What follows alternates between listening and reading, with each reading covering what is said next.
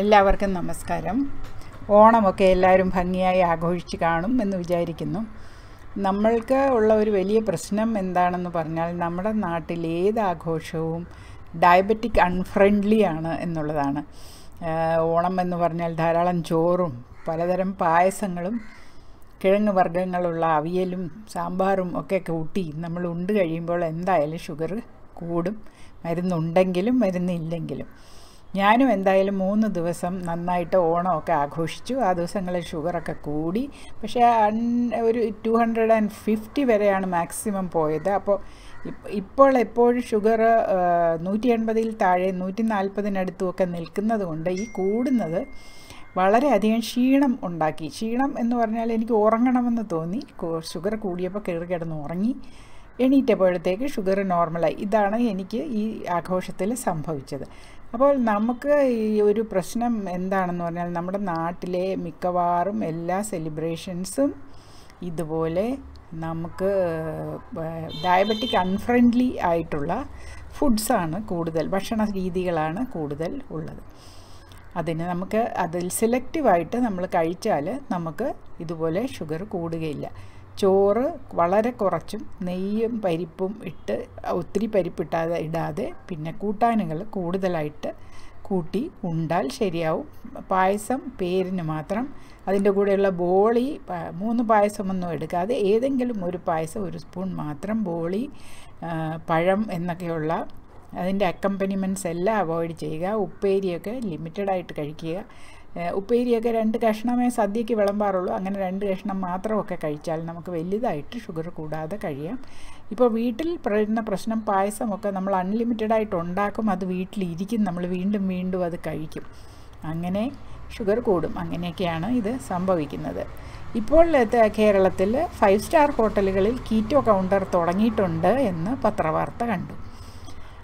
ഇനി പറയാനുള്ളത് വേറൊരു കാര്യമാണ്. ഡയബറ്റിസ് ഉള്ള എല്ലാവർക്കും അതായത് ഞാൻ എന്നെ പോലെയുള്ള എല്ലാവർക്കും മരുന്നുകൾ കൊണ്ട് അവരുടെ ഷുഗർ ലെവലൊക്കെ ആറിലും ആറരയിലും ഒക്കെ കൊണ്ടുവരാൻ സാധിക്കും. അപ്പോൾ അതുമല്ല പലരും എൺപത് വയസ്സ് വരെയൊക്കെ സുഖമായിട്ട് ജീവിക്കുക അത് കഴിയുമ്പോൾ കണ്ണിനും കൈക്കും കാലിനും എഴുപത് എഴുപത്തെട്ട് അഞ്ച് വയസ്സ് കഴിയുമ്പോൾ ഓരോരോ പ്രശ്നങ്ങൾ ഉണ്ടാവുകയും പിന്നെ അതിനുള്ള ചികിത്സകൾ ചെയ്യുകയൊക്കെ ചെയ്യുന്നുണ്ട്. പക്ഷേ അപ്പോൾ നോക്കുമ്പോൾ എഴുപത് എഴുപത്തഞ്ച് വയസ്സ് വരെ അവരെല്ലാം തിന്നും കുടിച്ചും സന്തോഷമായും ജീവിച്ചല്ലോ മരുന്ന് കൊണ്ട് പിന്നെ എന്തിന് മരുന്ന് നിർത്തണം എന്നുള്ള ഒരു ചോദ്യം വരുന്നുണ്ട്. അത് എല്ലാവർക്കും വേണ്ടി ഉള്ളതല്ല. ഈ മരുന്ന് നിർത്തണമെന്ന് ആഗ്രഹിക്കുന്നവർക്ക് വേണ്ടി മാത്രമാണ് ഈ മരുന്ന് നിർത്തുന്ന പ്രക്രിയ പ്രക്രിയ.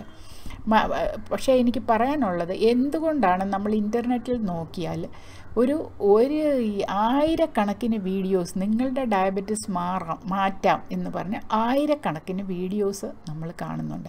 ഓരോന്ന് അഞ്ച് ദിവസം നിങ്ങൾ ഇത് ചെയ്താൽ മതി. നിങ്ങളുടെ ഡയബറ്റിസ് പൂർണമായിട്ട് മാറും.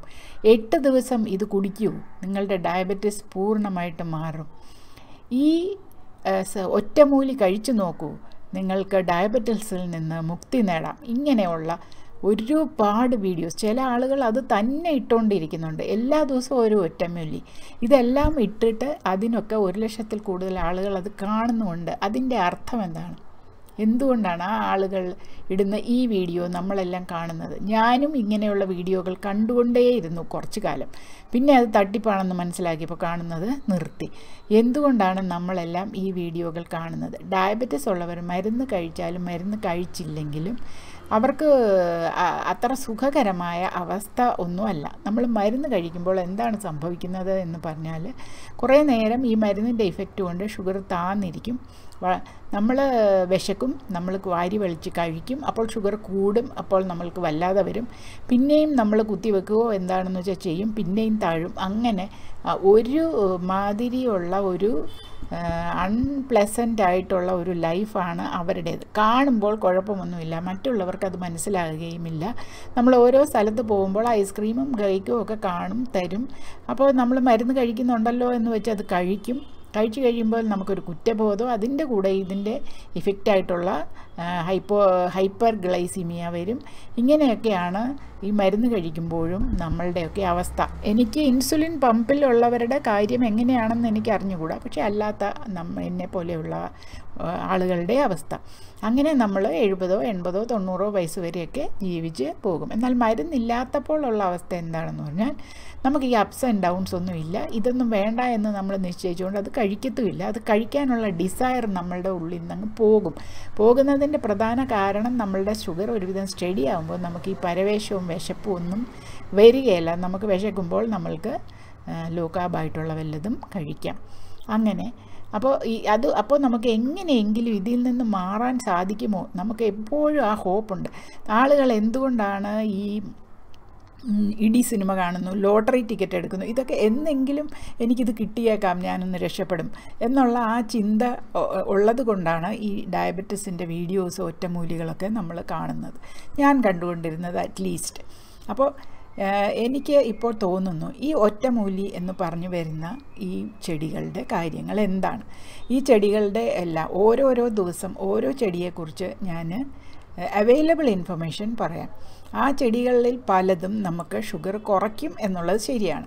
നമ്മൾ ഈ മരുന്ന് കഴിക്കുന്നത് പോലെ തന്നെ ഈ മെറ്റ്ഫോമിൻ തന്നെ ഒരു ചെടിയിൽ നിന്നെടുത്തതാണ് അപ്പോൾ നമ്മൾ ഏതെങ്കിലും ഒരു ഡയബറ്റിസ് കുറയ്ക്കുന്ന മരുന്ന് കഴിക്കുമ്പോൾ നമ്മുടെ ഷുഗർ താഴുന്നത് പോലെ തന്നെ ഈ ഇലകളൊക്കെ തിളപ്പിച്ച് കുടിച്ചാൽ അല്ലെങ്കിൽ അരച്ച് തിന്നാൽ അല്ലെങ്കിൽ ഉണക്കി പൊടിച്ച് ചായ ഇട്ട് കുടിച്ചാലൊക്കെ നമ്മുടെ ഷുഗർ കുറയും. അത് നമുക്കറിയാം ഈ സിന്നമൺ അതായത് പട്ട പട്ട ഇട്ട് സിന്നമൺ ടീ എന്ന് പറഞ്ഞ് ടീ എല്ലായിടത്തും വാങ്ങിക്കാൻ കിട്ടും. അല്ലെങ്കിൽ നമ്മൾ തന്നെ വെള്ളം തിളപ്പിച്ച് ഒരു കഷ്ണം പട്ട ഇട്ടിട്ട് കുറച്ച് കഴിയുമ്പോൾ ആ പട്ട എടുത്ത് മാറ്റി ആ വെള്ളം കുടിക്കുമ്പോൾ അത് സിനമൺ ടീ ആവും. അല്ലെങ്കിൽ ടീക്കകത്ത് ഒരു കഷ്ണം സിനമൺ ഇട്ട് വെള്ളം തിളപ്പിച്ച് ഇച്ചിരി ടീ ഒരു ടീ ബാഗും ഒരു ഒരു കഷ്ണം സിനമണ്ണും കൂടെ ഇട്ട് അത് കുറച്ച് കഴിഞ്ഞെടുത്ത് മാറ്റി ഒരു മിനി ഒരു മിനിറ്റോ വല്ലതും കഴിഞ്ഞെടുത്ത് മാറ്റി കുടിക്കുമ്പോൾ നമുക്ക് സിന്നമൺ ടീ ആകും. അപ്പോൾ അതിലൊക്കെ നമുക്ക് ഷുഗർ കുറയ്ക്കാനുള്ള ഒരു കാര്യമുണ്ട്. സിന്നമൺ ഷുഗർ കുറയ്ക്കുന്ന എല്ലാവർക്കും അറിയാവുന്ന കാര്യമാണ്. അതുപോലെ വിനീഗർ ഇങ്ങനെ പല പല കാര്യങ്ങളുണ്ട്. അപ്പോൾ ഇവയൊക്കെ കുറിച്ച് ഒരു ദിവസം ഒരു സാ ഒരു ഐറ്റമിനെ കുറിച്ച് വെച്ച് പറയാമെന്ന് ഞാൻ വിചാരിക്കുന്നു. അതിനോടൊപ്പം തന്നെ ജെയ്സൺ ഫങ്ങിന്റെ ഫാസ്റ്റിംഗ് ഇടയ്ക്കായി ഇടയ്ക്കൊക്കെ പറയാം എന്ന് വിചാരിക്കുന്നു. ഈ ഇലകളെക്കുറിച്ചും ചെടികളെക്കുറിച്ചും പറയാനുള്ള പ്രധാന കാരണം ഇതൊക്കെ ഒറ്റമൂലിയാണെന്ന് തെറ്റിദ്ധരിച്ച് ആളുകൾ ചെയ്യുമോ എന്ന് എനിക്കൊരു ഭയമുണ്ട്. പിന്നെ ഞാൻ കണ്ട് എനിക്ക് തന്നെ ഒരാൾ അയച്ചു തന്നതാണ്. എരിക്കിന്റെ ഇല കാലിൽ വെച്ച് കെട്ടി അതിന്റെ പുറത്തൂടെ സോക്സ് ഇട്ട് നടന്നാൽ ഒരു ദിവസം കൊണ്ട് ഡയബറ്റിസ് മാറും എന്ന്. ലിവറിലെ ഫാറ്റ് കൊണ്ടാണ് ഡയബറ്റിസ് ഉണ്ടാകുന്നത്. ലിവറിലും എല്ലായിടത്തും അടിഞ്ഞുകൂടിയ ഫാറ്റ് കൊണ്ടാണ് എന്ന് നമുക്കറിയാം. അപ്പോൾ ആ ഫാറ്റിനെ ഈ ഇല കാലിൽ കൂടെ പ്രവർത്തിച്ച് ഒരു ദിവസം കൊണ്ട് അലിച്ചു കളയാൻ സാധിക്കുമോ? നമ്മളെപ്പോലെയുള്ള പാവപ്പെട്ട ഡയബറ്റിസുകാർ ദുഃഖിച്ചിരിക്കുന്ന ഡയബറ്റിസുകാരെന്ന് വേണേൽ പറയാം. നമ്മളെയൊക്കെ എന്തിനാണ് ഇവർ ചൂഷണം ചെയ്യാൻ ശ്രമിക്കുന്നത്? എന്തിനാണ് നമ്മളെ കഷ്ടപ്പെടുത്താൻ ശ്രമിക്കുന്നത്? ചിലരെങ്കിലും അത് ചെയ്യുന്നുണ്ടെന്ന് എനിക്കറിയാം. ഓരോ ഇലകൾ തിളച്ച് കുടിപ്പിച്ച് മരുന്ന് നിർത്തുകയൊക്കെ ചെയ്യുന്നവരുണ്ട്. അതുകൊണ്ടാണ് ഞാനിത് പറയാമെന്ന് വിചാരിക്കുന്നത്. വേറെ ഒരു കാര്യം ഞങ്ങൾക്ക് ഞങ്ങൾ retired officers of syndicate bank ഞങ്ങളുടെ അസോസിയേഷന് ഒരു ദിവസം ഞങ്ങളുടെ കൺവീനറായിട്ടൊക്കെ ഞങ്ങളുടെ secretary mister Gopinathan Nair sir ഒരു ആയുർവേദൻ ഡോക്ടറിനെ കൊണ്ടുവന്നു. പ്രത്യേകിച്ച് ഇതുപോലെയൊക്കെയുള്ള സംശയങ്ങൾക്ക് നിവാരണത്തിനായിട്ടാണ്. അപ്പം അദ്ദേഹം പറഞ്ഞ ഒരു കാര്യമുണ്ട്. നിങ്ങൾ ആയുർവേദമാണെന്നും പറഞ്ഞോ പച്ചിലയാണെന്നും പറഞ്ഞോ അത് വിധമൊന്നും കഴിക്കരുത്. കാരണം ഈ പച്ചില എന്ന് പറയുന്നത് നിന്നാണ് പല മരുന്നുകളും ഉണ്ടാക്കുന്നത് പച്ചിലയ്ക്കകത്ത് പല പല സാധനങ്ങളുണ്ട്. അപ്പോൾ ഈ സാധനങ്ങളൊക്കെ എന്താണ് പ്രൊലോങ്ഡ് ആയിട്ട് ഒത്തിരി നാൾ നമ്മൾ ഇത് ഉപയോഗിക്കുമ്പോൾ ഈ ഡയബറ്റീസ് കുറയ്ക്കുന്ന സാധനത്തിന് പുറമേ അതിലുള്ള മറ്റുള്ള സാധനങ്ങൾ നമ്മളുടെ ശരീരത്തിനെ എങ്ങനെ അഫക്റ്റ് ചെയ്യുന്നു? ഇതിനൊന്നും വലിയതായ ഗവേഷണങ്ങളില്ല. അതുകൊണ്ട് നിങ്ങൾ പെട്ടെന്ന് ഓരോരുത്തരുണ്ടാക്കി വിടുന്ന മരുന്നുകൾ. അതിലേറ്റവും കൂടുതൽ കുഴപ്പമുണ്ടാക്കിയിട്ടുള്ളത് ഡയബറ്റീസ് മരുന്നാണെന്നാണ് അദ്ദേഹം പറയുന്നത്. കിഡ്നി പോകാനും ഒക്കെ കാരണമായിട്ടുള്ളത്. അതുകൊണ്ട് നിങ്ങൾ ഏത് മരുന്നോ അല്ലെങ്കിൽ ഒറ്റമൂലിയോ ചെയ്യുമ്പോൾ ആയുർവേദത്തിന്റെ ഒരു ഡോക്ടറിനെ തന്നെ കണ്ട് ആയുർവേദ കോളേജിലൊക്കെ പഠിച്ച് ഡിഗ്രിയൊക്കെ എടുത്ത പോസ്റ്റ് ഗ്രാജുവേഷൻ എടുത്ത ഒരു ഡോക്ടറെ കണ്ട് ആ ചെടിയെക്കുറിച്ച് കൂടുതലായിട്ട് മനസ്സിലാക്കിയിട്ട് മാത്രമേ നിങ്ങളത് ചെയ്യാവൂ. കാരണം ഇതിനൊക്കെ ഓരോ വേറുള്ള ഇഫക്ട്സും അത് ഉണ്ട്. ഈ ഡയ ആന്റി ഡയബറ്റിക് ഇഫക്റ്റ് ഉണ്ട് വേറെയുള്ള ഇഫക്റ്റ് ഉണ്ട്. ആന്റി ഡയബറ്റിക് ഇഫക്റ്റ് ഉണ്ടാക്കുന്ന ഏത് കെമിക്കലാണ് അതിനെ ഐസൊലേറ്റ് ചെയ്ത് മരുന്നുണ്ടാക്കിയാൽ ചിലപ്പോൾ നമ്മൾക്ക് പ്രവർ ഗുണമാകും. പക്ഷേ അത് എങ്ങനെയാണ് നമ്മുടെ ശരീരത്തിൽ ഷുഗർ കുറയ്ക്കുന്നത് എന്ന് നമ്മൾ മനസ്സിലാക്കണം. അത് കുറയ്ക്കുന്ന ആ രീതി നമുക്ക് ഹാംഫുൾ ആണെങ്കിലോ? ഉദാഹരണത്തിന് ഞാൻ ഈയിടെ വോളിബോ എന്ന് പറയുന്ന ഗുളിക ഞാൻ കഴിക്കും എന്ന് പറഞ്ഞല്ലോ സ്റ്റാർച്ച് കഴിക്കുമ്പോൾ. പക്ഷേ അത് ഞാൻ അതൊക്കെ എന്ത് കഴിച്ചാലും ഞാൻ ലിമിറ്റഡ് ആയിട്ട് ഞാൻ സ്റ്റാർച്ച് ഇൻടേക്ക് വളരെ ലിമിറ്റ് ചെയ്ത് വെക്കും പക്ഷേ ഈയിടെ ഈ ഓണത്തിന് ഞാൻ പായസവും കുടിച്ച് ചോറ് കൊണ്ട് വോളിബോ തിന്നപ്പോൾ എനിക്ക് ശരിക്ക് വയറിളകി. എന്റെ ബ്രദർ ഇൻലോയ്ക്ക് വോളിബോ കഴിച്ചിരുന്ന കാലത്തൊക്കെ വയറിളകുമായിരുന്നു. അപ്പം നമ്മുടെ സ്റ്റാർച്ച് കണ്ടന്റ് അപ്പം അതായത് കാർബോഹൈഡ്രേറ്റ് കൂടുതലായിട്ട് നമ്മൾ കഴിച്ചിട്ട് ഈ ഗുളിക കഴിക്കുമ്പോൾ ഈ കാർബോഹൈഡ്രേറ്റ് അബ്സോർപ്ഷൻ തടയുന്നു എന്നാണ് പറയുന്നത്. അതെങ്ങനെയാണ് തടയുന്നത് എന്ന് എനിക്ക് അറിഞ്ഞുകൂടാ അത് ഇതെല്ലാം കൂടെ വയറിളക്കി താഴോട്ട് വിടുമോ എന്ന് അറിഞ്ഞുകൂടാ അപ്പോൾ ഇതുപോലെയുള്ള ഓരോ ഇഫക്റ്റുകൾ മരുന്നുകൾക്കും ഉണ്ട് ഈ ഇലകൾക്കുമുണ്ട് ഇലകളിലെ കാര്യങ്ങളെക്കുറിച്ച് യാതൊരു അറിവുമില്ല.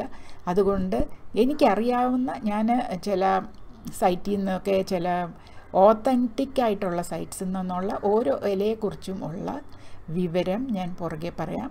അതിന്റെ ഇടയ്ക്ക് ഫാസ്റ്റിങ്ങിന്റെ കാര്യവും പറയാം. എല്ലാവരും സുഖമായിട്ട് ഇരിക്കുക. മഴക്കാലം മാറുന്ന ലക്ഷണമില്ല. നന്ദി നമസ്കാരം.